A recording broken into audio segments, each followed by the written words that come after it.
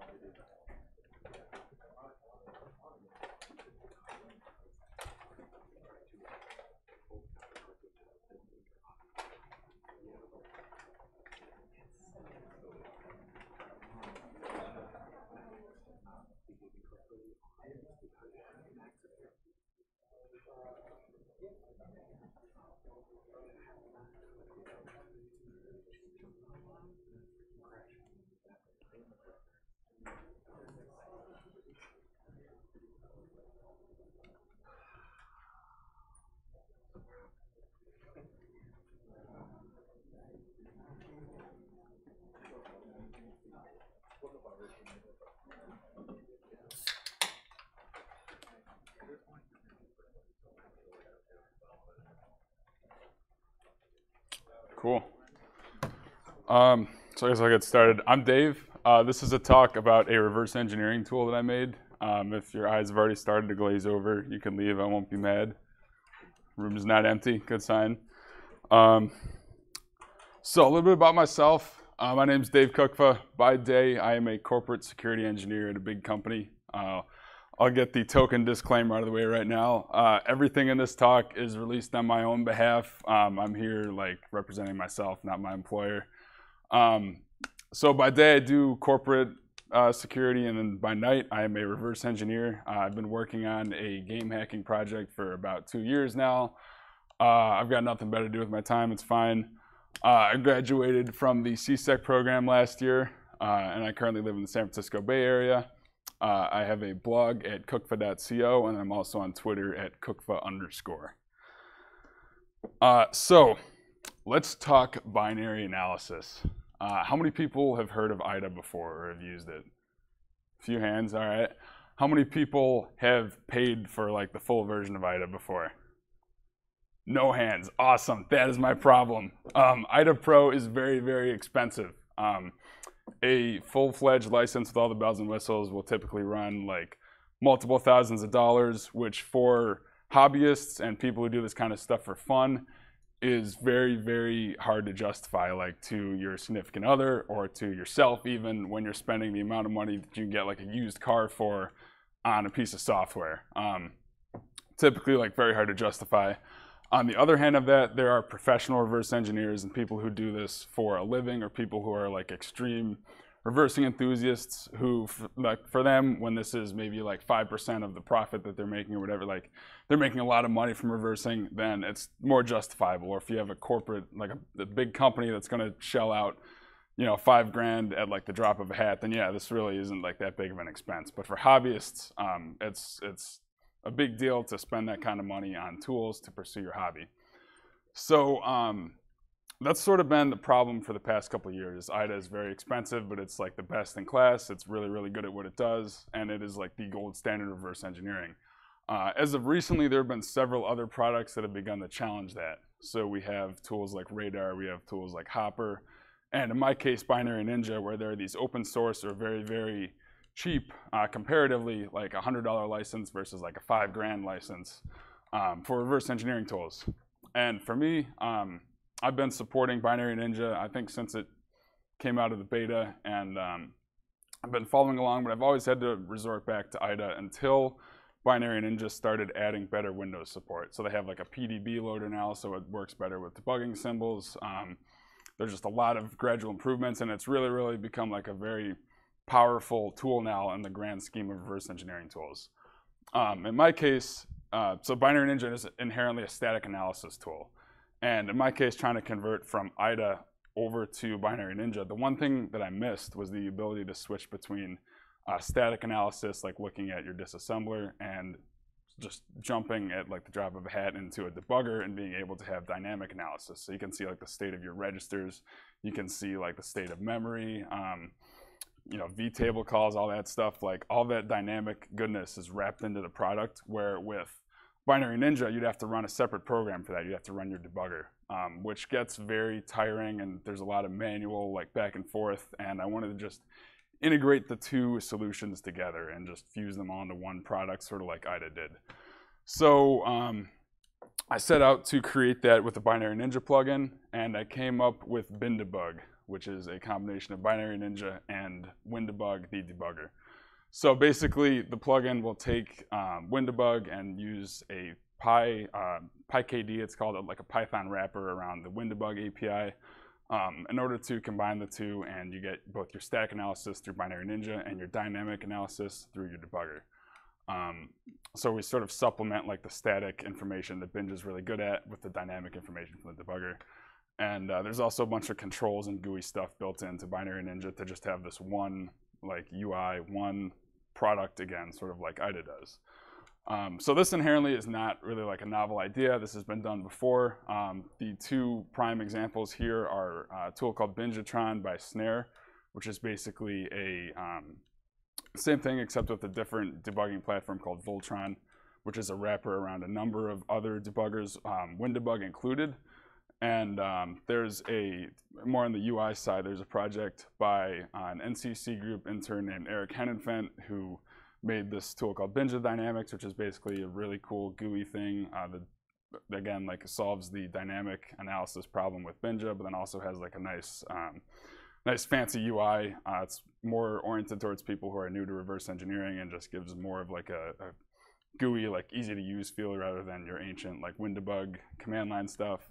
Um, the problem being is that with both of these solutions, the Windows support is either not there or is lacking. Um, like in my case, there were a lot of hoops to jump through to get up and running on Windows, and I wanted to create something that was just easier to use right out of the box and um, just like show Windows some love pretty much. So for me, in my case, when I was reverse engineering video games, that's really like a Windows thing. I'm reverse engineering PEs more than any other type of binary. So um, I wanted to create something that was good for Windows. Um, so for the, the plugin itself, um, most of the primary features are just things that integrate within Binary Ninja's uh, GUI. So like, for example, we can launch and control the debugger directly from Binja. Uh, so we get these buttons on top that have your typical debugger controls like start, stop, um, set a breakpoint, um, you know, step over, step in, step out. Um, and then we can also sync the um, debugger information, like the instruction pointer, directly to the Binary Ninja disassembly graph. So uh, for anyone who's familiar with IDA or with Binary Ninja, you get like a nice graph of all the basic blocks of the program and like all the different functions and everything. They're all very uh, like graphed out. You get a nice pretty graph of where your um, your control flow of your program goes. Um, but with your disassembler or your debugger with WinDbg, you just get like a plain text output of a bunch of instructions. And it's kind of hard to see where the program flow is going to go. So I wanted to combine that into Binja so that you can have the nice, pretty graph and then also get the dynamic view from your debugger. Um, again, like you can set breakpoints and you can move your instruction pointer directly using the disassembly graph. Um, so like you can just right click on an instruction and set a breakpoint there you can run the program up to that certain instruction, or you can just have the instruction pointer jump all the way down to that point, um, and not execute all the codes. That's like a classic technique for um, getting around like software protections, like your um, you know enter key code. If you just jump over the function where it asks for the serial and it just runs the rest of the program as normal. Um, question over there. So when you hit a breakpoint in this, and there are multiple threads, you have the granularity to stop just the thread you're in, uh, I think it does all the threads currently. Um, that's an interesting question. I don't know if there's actually support for that at the WinDbg level even. Um, but yeah, I, at least in, for for my case, yeah, it's just all threads. Um, uh, so another solution or another feature here is the um, the branch decision highlighting. So if you were to reach like a jump instruction, um, when you're looking at just the stack analysis, you don't have the live, like the register view, you're not able to see what's going on. Um, there'd just be this jump here and you wouldn't know whether you would take the jump or whether you'd continue executing down.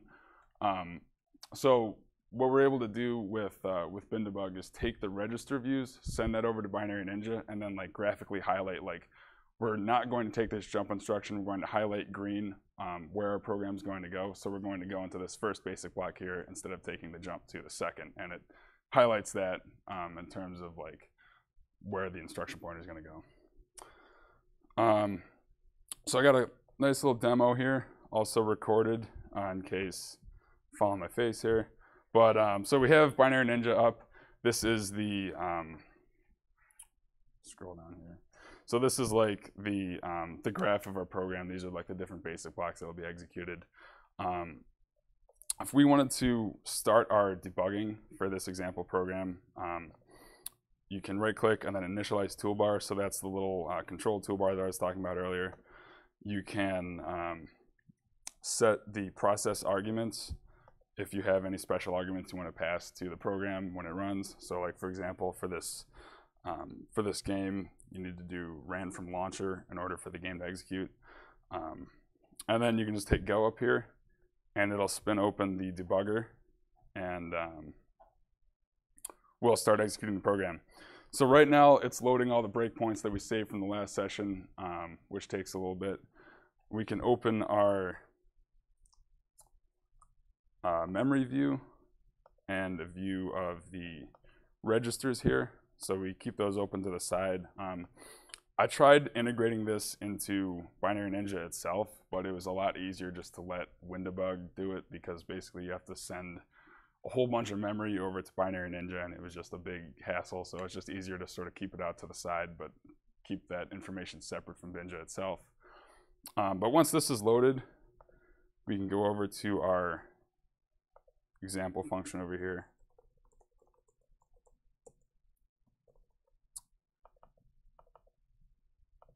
Bring this up and we can set a breakpoint over here.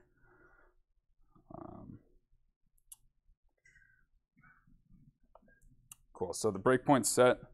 And if we go over to our debugger, we can see these, these commands that are being back and forth, sent back and forth. So um, so far, we have synced the debugger information to Binary Ninja, and we set a breakpoint at this certain address, um, which correlates to this function over here. And uh, now we can just execute the program.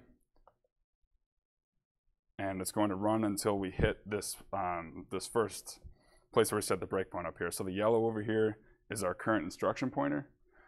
And we can just go and step through um, our program as normal here. So one of the cool things that uh, I built in to sort of automate a lot of the manual uh, analysis with reverse engineering is, um, is anyone familiar with vtables before or has, has worked with vtables and reversing? Basically, it is, um, it's basically a, a, way that C++ handles polymorphism and from the static analysis standpoint, um, it's really troubling because like you'd see, like for example here, you just see like register values and then down at the bottom here it goes call edx and you don't know what edx is you don't know which function is being called uh, until you're actually executing that program in your debugger you can't actually tell what it's going to do um, and my way of solving this previously was you just have to run the program in a debugger go back over to your disassembler and then comment like when I ran this, this was the function that was actually being called. Um, so what I wanted to do with the debugger here was to actually have it um, like automatically annotate which functions were being called, uh, which which functions are being referenced from the vtable. So like as I execute through this uh, this function here, it's going to go through and annotate like call edx. Like this is what was actually called was this game client states program here or function here. So um, again, like just automatically executing through, uh, stepping through each of the instructions here, we get like a much better idea of what's actually going on in the program when we go and look at it again from a static analysis standpoint. Um, so we can just like save our analysis file here in, in, Binary Ninja and open it back up and see which functions were executed. Um, so we can continue stepping through here and we get to our first branch instruction and we see that we're going to execute here. We're not going to take this jump. Um, so we keep going and it keeps annotating um, and we're going to call another vtable function. Um, so let's say we want to just get out of this function entirely. Uh, we can just do run to cursor down here and say we want to execute up to this point, and then uh, our debugger is just going to go execute all the instructions until it hits this push instruction. Uh, and then we can step the rest of the way out of the function, and uh, our game is going to spin up. So um, just like a quick, brief little demo. Um, again, like this is more of like a hacky script at this point. There's really not much to it, but it's kind of like a just something simple that made my life a hell of a lot easier and really took a lot of uh, that static analysis time that goes into reverse engineering and just automated a lot of it.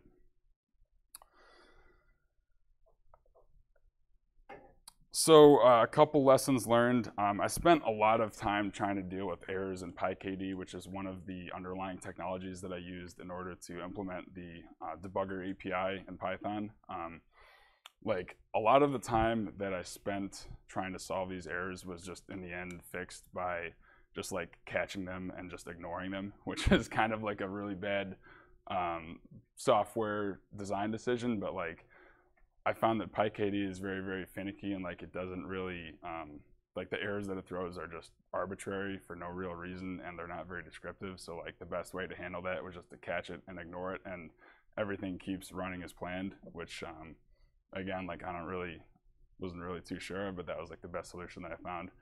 Um, determining the type of an object in memory using the vtables is not 100% reliable. Um, in the cases of like multiple inheritance, when you have um, like a, a, class that would inherit from two other classes, uh, the, basically the vtable layout in memory would just have the vtable of one of those two classes uh, at, the, at the top of the object. So basically, the way that I used to determine the object type was not 100% reliable, and I was really confused when I hit a case of um, multiple inheritance, like why things weren't matching up. Um, basically, it's an it's an inexact science.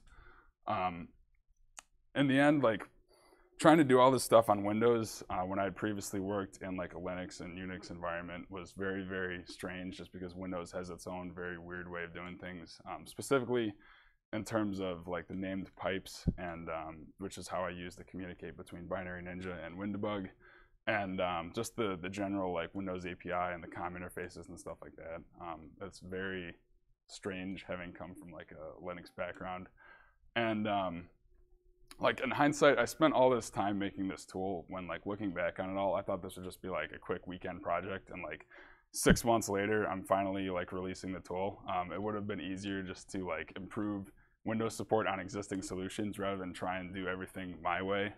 Sorry, Elvis, but uh, yeah, I would have saved a hell of a lot of time if I would have just have tried to improve existing solutions instead of make my own. I think, but um, now that I made this thing and I kind of like it, I'm just going to keep going down the road.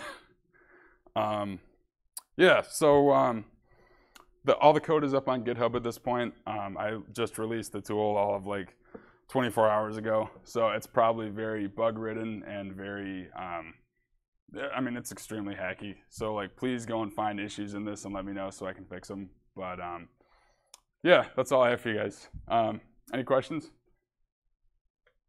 Yeah, John.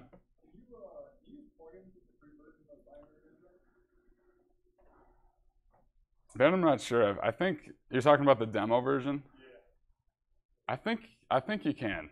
Um, I know the licenses are still very cheap compared to like a like an IDA license. Um, it's I think there's like a $99 uh, intro license, like a student license or like a hobbyist license. Um, and I know there's tons of giveaways all the time at like conferences and stuff. But yeah, for the for the free version, I'm not sure about that. Any other questions? Yeah. So there, you kept talking about the PyKD. Is there an alternative to that? Um, you can so the PyKD stuff is basically a wrapper around the C++ uh, debugger engine that comes with like the Windows SDK. Um, so it's basically just like an easier way to call those functions. Um, like if I wanted to, I could have made everything in like C++, which would have been like a little bit harder. Uh, it just would have been like more development effort basically. Um, so like yeah, we could just call like the Windows API directly and just like interface with it that way. But it was kind of easier just to have like the Python wraparound. Or at least I thought it would be easier until it started freaking out on me every um, every command I tried to run. But um, yeah, like there's there are other solutions there, but they're they're more difficult to use. Cool. Yeah. Question from the uh, internet, totally real. Uh, can you show us how to cheat at video games with this tool? Um, I don't have any demos prepared. Um, There's lightning talks later. oh, cool. Yeah, I'll throw something together. Um, no, like I guess like the I can I can point to some good resources. Um, there's a book by Nick Cano who talks about a lot of um, like a whole bunch of very like applicable um, game hacking like techniques, trends, like all the background information that I skipped over um, when, I, when I was talking about all this stuff. Um, I would totally recommend that book.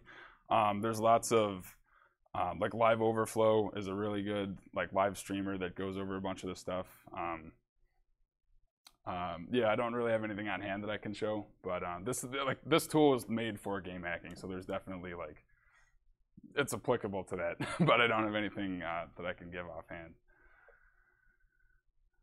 Cool. Thanks, guys.